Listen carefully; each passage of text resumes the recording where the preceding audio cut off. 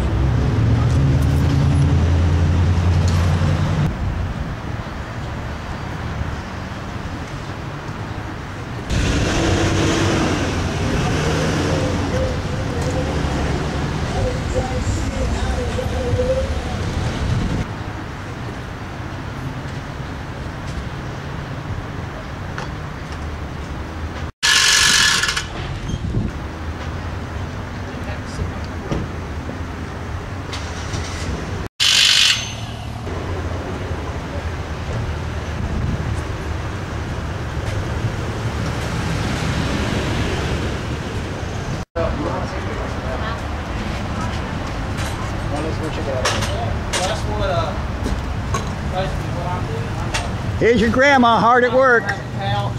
Yeah, all that stuff in it, the bed that holds out into the bed. It's got an upper sleeping quarters above it, and then